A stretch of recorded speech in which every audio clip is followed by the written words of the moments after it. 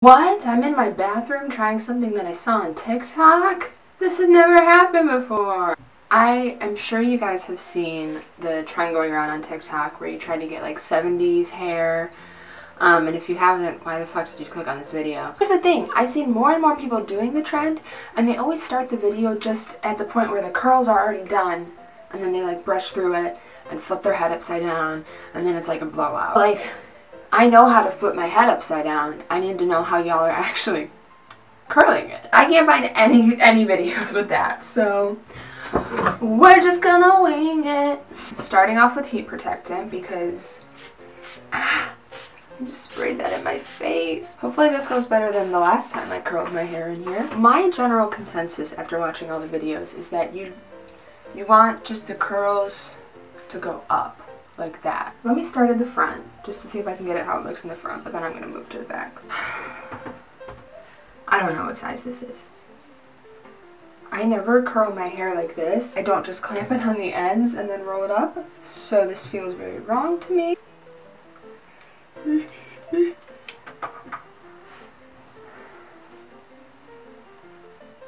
I don't think that's correct. I mean, also, I don't have bangs slash fringe, so, and I don't know if my hair is long enough for this. So we really just have um, no indicators that this will work. But I'm trying it anyway. Because that's what life is. Okay, so that's more, yeah, that's more like what she had in the video. I'm so impatient when it comes to my hair. Like, I'm bored already. I was watching this thing on YouTube the other day that was like a time lapse of Karen Gillan getting her makeup done for Nebula in um, Avengers. Bless her soul. I don't know how she does that. Oh, that bitch was in that chair for like, I don't even know how long. Spent like a whole work day's worth of hours in that chair and then went and did a whole work day. What? I'm not even gonna be started on when Jim Carrey played the Grinch. Y'all know he had to be trained by Navy SEALs for that? I also don't even know if she used this kind of curling iron. I know that I should be sectioning my hair, but just like the last time I curled my hair in a video, I'm probably gonna wash it immediately after this. So I really don't care how it turns out. I just wanna know if I can do this. You know, I wanna know if I have this in me. And then if I do, you know, maybe I'll take like an Instagram picture. Oh gosh, this chunk is too big. She says it, she does it anyway. Nobody comment on my roots. I know that I need to renew them. How's everyone feel about getting vaccinated? Don't know about you guys. Let's get let's get really real for a moment. Every time I hear people talking about how like the end of the pandemic is nearing, which like first off, I'll believe it when I see it because how many times have we fucking heard that already. Also, I get like anxious when I hear that. Because I'm like I didn't have a life in the first place. It's been nice to live in a world where no one has a life for the past year. Everyone's gonna be doing shit and I'm still gonna be living as if quarantine never ended, because I don't do things. I never did do things. I would be willing to bet you a whole lot of money. Well, a whole lot to me, an unemployed recent graduate, so a whole lot to me is like three figures. But I bet you that much that this is not going to work. If they all were turning out like that, I'd have more hope. I really like how that one turned out. Oh my gosh, speaking of hair and YouTube, do you know that Guy Tang is on like some reality show? Which I only know because Trixie and Katya watched it. And I was like, is that Guy Tang? You know what we should talk about speaking of reality is the Hype House show. I hate Netflix. I truly don't know why I still have Netflix. That's a lie. I have it so I can rewatch Criminal Minds. Every show that I've ever loved, ever, Netflix is like, oh, you like this? Sick, we're gonna cancel it. But then they're like, let's have 15 fucking seasons of 13 Reasons Why and a million different kissing booths. And now we're giving the Hype House a show. It's just absolutely bonkers mental, love. Netflix is scared of good content. I'm a very passive person, like I'm the most passive, I hate confrontation, but if I ever get my hands on the executive at Netflix that made the call to cancel the OA, I would end up in jail. I feel like I'm doing math every time I try to remember which way to curl it. Oy, oy, oh my. You didn't see that. Can you kiss me more, kiss me more, baby, like Doja Cat was so right with that song. Like I really do feel like fucking something. And I'm not picky at this point. Literally whatever. How are my touch starved homies doing out there? I know that everyone who's been in a relationship while quarantine is like, it hasn't been sunshine and rainbows. Like it's tough to live with your, like to be stuck inside with your partner for that long. And like I get that. I'm sure it is. I'm sure you guys like fight, but like, how much sex have you had over the past year? I don't know what human touch feels like. And I have friends that are dating that'll be like, yeah, I went on a date last week with like someone from Tinder or something. And I'm like, y'all are dating? Like this shit is still going on. We're still in this thing. I'm like a week away from being fully vaccinated. I want to try my hardest to maintain my standards. Post quarantine, I've always had standards. I don't really date. I also feel like the first time I'm out, like at a bar, after being fully vaccinated, and then waiting two weeks because you know you have to let the vaccine sink in, I will make out with the first thing that moves in front of me. PSA, shortly after completing this filming I watched Promising Young Woman and must now amend my previous statement. I will never be speaking to a man again. Where are all my other, my, my, my people who have been single for all of quarantine? How are you feeling? Are you gonna try and keep your standards up? Or are you gonna fuck the first thing that moves? I know there's a lot of space in between, but like, I tend to be a very black or white person. Do you like how this video of me curling at my hair turned into me talking about dating? But I just like don't fuck with dating apps. I never have. I don't think I ever will. Partially because, as previously mentioned, I watch a shit ton of Criminal Minds. And like, I need to have met someone in real life and like confirmed that they're not a murderer. Okay, well, I mean, like, that's tough because, like, you really never know if someone's a murderer. You know, like, they're, they're best friends and their significant others never know.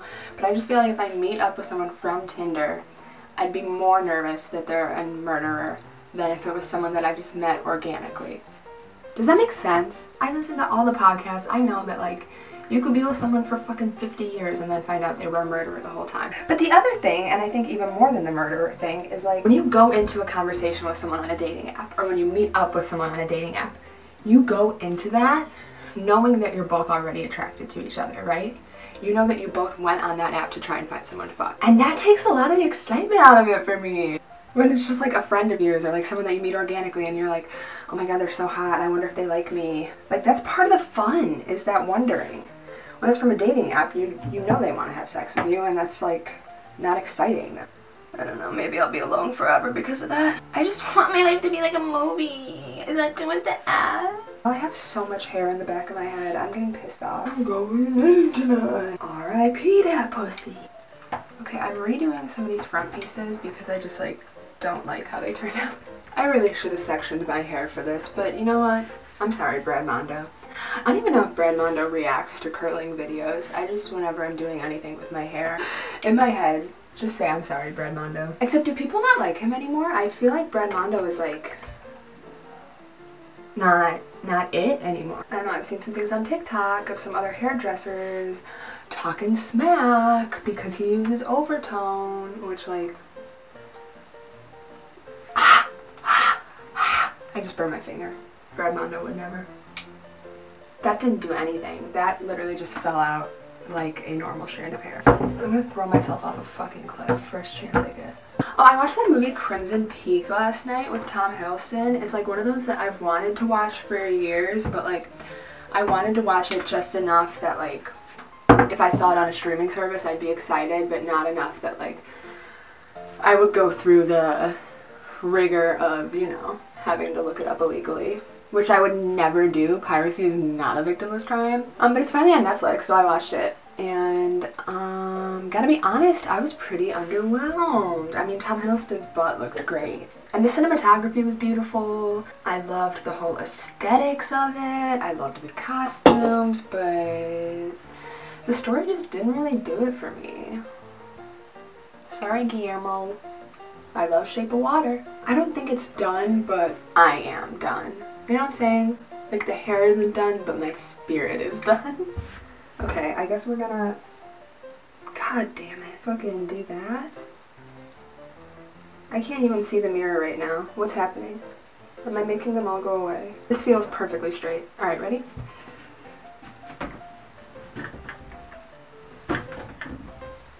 Jesus, okay.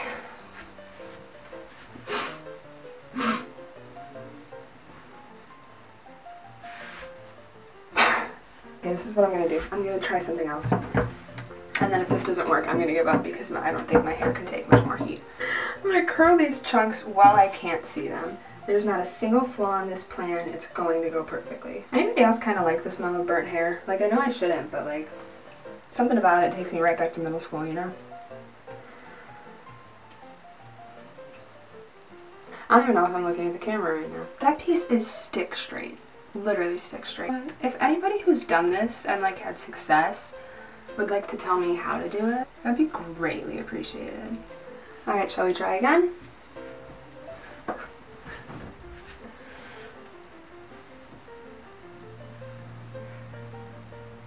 Nope. It does flip out at the bottoms, but that's about it. I'm making it worse. I'm really just making it worse. Okay, I really should stop before my hair just fucking breaks off, but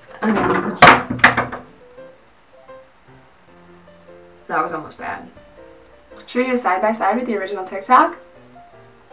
So needless to say, this was a flop, um, but if you join me on this flop journey, thank you so much for being here. Um, it didn't work. If you clicked on the video and then skipped to the end to see if it worked, it didn't work. But I sure happy we went on this ride together, you know, because like it is the climb. There is always going to be another mountain. And sometimes you're going to have to lose. I mean, this looks like I didn't even curl it. Can someone please tell me what I'm doing wrong? in vivid detail and maybe drop a tutorial. I greatly appreciate it. Well, guess what? I just spent how much time on this? Just about 40 minutes on this, and look what I'm about to do with it.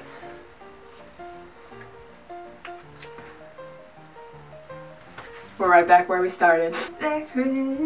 Started from, Was that in an extremely goofy movie or a goofy movie?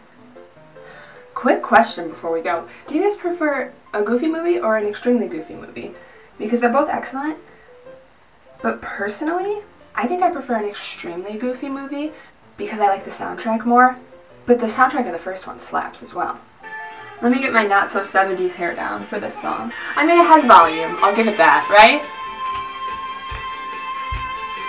I don't know what it says about me that when I think of like 70s and disco, I think of an extremely goofy movie. No, you know what else I think of is that scene in Scooby-Doo 2 Monsters Unleashed where they go to the club where all the villains hang out.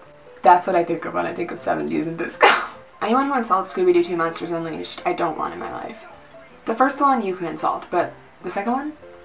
I mean, at this point, I'm just wasting my own and your time. So thank you so much for watching. Uh, next time, I don't think we're going to be in my bathroom because I can't, I can't do another fail. I don't have that in me. I'm gonna go cry in the shower now. Um,